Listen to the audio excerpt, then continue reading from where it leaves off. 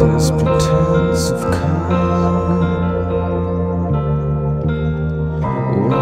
expect change in just so we can stay the same?